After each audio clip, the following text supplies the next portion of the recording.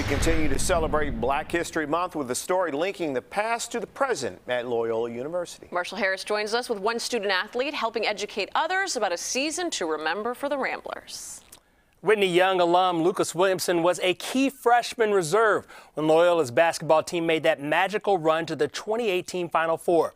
Since then, the now grad student and captain has found his voice, both on and off the court.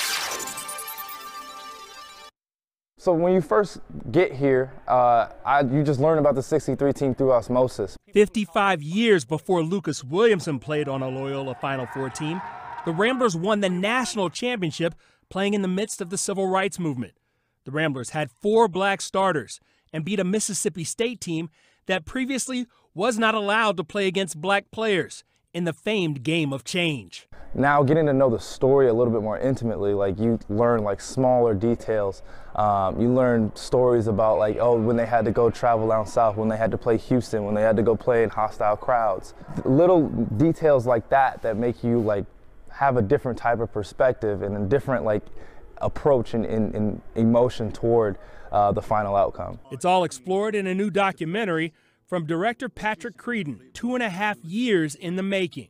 The Loyola Project, a documentary film narrated by me, Lucas Williamson. He's like, it just feels a little bit better when the narrator of the film has a lot to do with the story itself. So he was like, hey, do you want to give the narration thing a go? And I was like, you know, sure. Creed not only stuck with Lucas to voice the film, he had Lucas help write it. In his fight to preserve segregation in the early 1960s, Governor Barnett made a special target out of state sports. This story is a story that should be told. For example, myself, I grew up in Chicago. Uh, there's no reason why a young black kid growing up in Chicago shouldn't know that these the 63 team was a was a trailblazing team that I benefit benefit directly from. I mean, they broke the unwritten unwritten rule that you can only play a certain amount of black players at a certain amount of time. When COVID hit, production of the documentary didn't stop, but instead of narrating in a studio, Lucas had to move his voice work to a more intimate location, his closet. I had never done something like this before. It's crazy to me that any coach would choose to separate their team anywhere for any reason. The journalism graduate has given this story a voice well beyond his campus.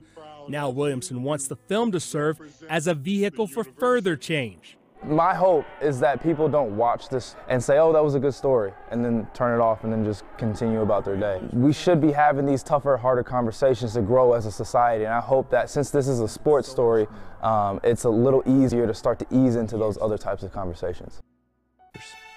You can watch the Loyola Project as it debuts tonight at 8 p.m. on CBS Sports Network. The film will also screen at 63 different campuses across the country, including Loyola's campus on Friday. A private screening Thursday will feature a panel after the film led by CBS Sports' Clark Kellogg and include the director Patrick Creadon and, of course, Lucas. That's great. Lucas comes from a very um, prominent and uh, accomplished family. His father was a longtime photojournalist in Chicago. Mm -hmm. Certainly seems like he's carrying on the legacy. That's right. That's for sure. Thank you, Marshall.